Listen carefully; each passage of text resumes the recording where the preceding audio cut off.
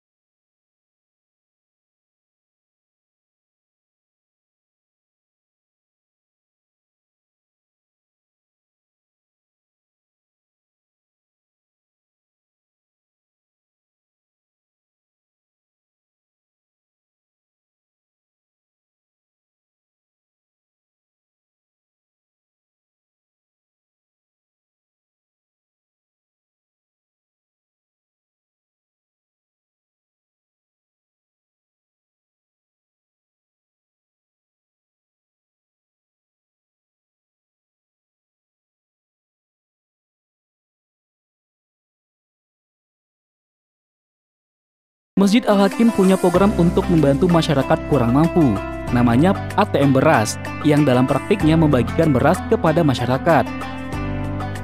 Sebanyak 100 kepala keluarga di sekitar masjid yang terletak di Pantai Padang itu mendapatkan jatah beras sebanyak 10 kg dalam sebulan.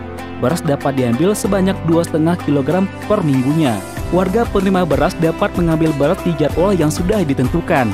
Setiap kakak punya jadwal sendiri untuk mengambil beras. Setiap bulannya Masjid Al-Hakim mendistribusikan lebih kurang satu ton beras. Selain itu, pada ATM disediakan laci untuk warga yang ingin berinfak uang.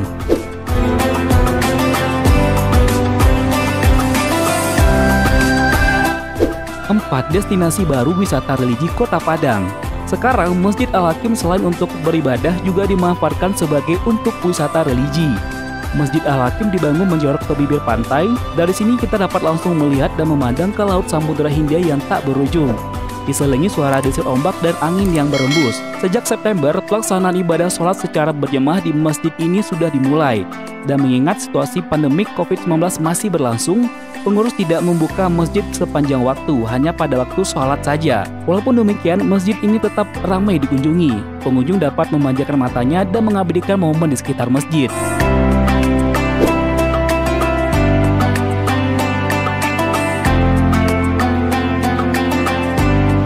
5. Dibangun pada tempat bekas permainan anak. Pembangunan Masjid Al-Hakim Padang berbarengan dengan usaha penataan Pantai Padang yang dilakukan oleh pemerintah Kota Padang.